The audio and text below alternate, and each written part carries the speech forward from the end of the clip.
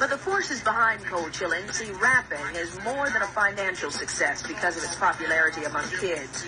Chairman of the company, Tyrone Williams, believes the business is also saving lives. It gave uh, teenagers, black urban kids, another option. Something to do with their time and their talents. And it also gives them an outlet for their frustration. Instead of uh, venting their anger on you or me, they can put it in speech. I like, you know, when I see the people are paying me attention.